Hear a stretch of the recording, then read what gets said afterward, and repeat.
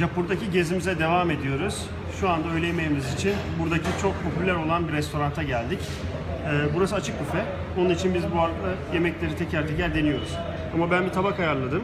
Sizin zamanınızı almadan güzelce göstereceğim. Burada bir patlıcan yemeğinden küçük bir parça var. Hemen yanında matar mushroom var. Hemen yanında kathi daner var. Bu aynı zamanda ricotta peyniri den yapılıyor. Sebzeli. Şu ortadaki gördüğümüz. Ve burada da e, Hindistan usulü kari var ama bunda acı yokmuş. Bunu özel olarak yapmışlar.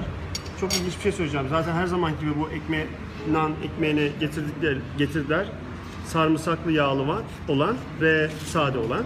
Ama ben şu ekmekten bahsetmek istiyorum. Şefe de soracağım aynı zamanda. Şef, what bread is this? Papar. Papar. Papar ekmeği. Bu papar ekmeği çok ince. Bunun özelliği böyle chips gibidir. Kırılır. Ama inanılmaz acı.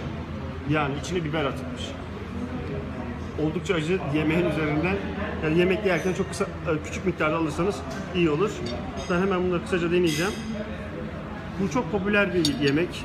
Peynirli yapıyorlar, sebzeli yapıyorlar ve sosu var. Tamamen sebzeli bir yemek. Hindistan'da baharat oldukça fazla kullanılıyor arkadaşlar. Buraya gelirseniz eğer baharatı seviyorsanız çok mutlu olacaksınız. Eğer baharatlardan uzak durmak istiyorsanız başta şefe onun, onun hakkında bilgini vermeniz gerekecek gibi. Bu çok pişirilmiş, çok pişirilmiş patlıcan. Hindistan usulü.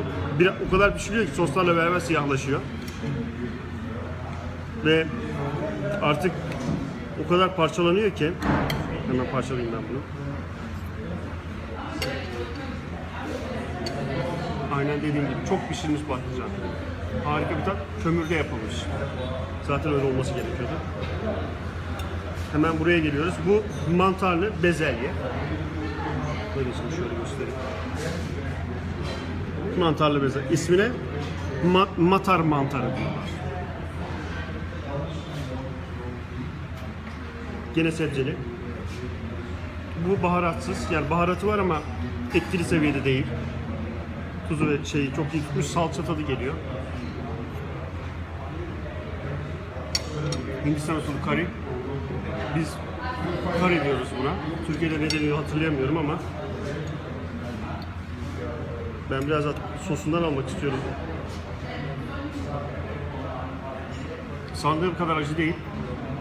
Baharatları ağır derecede içinde ama acısını iyi ayarlamışlar. Çok güzel, çok beğendim.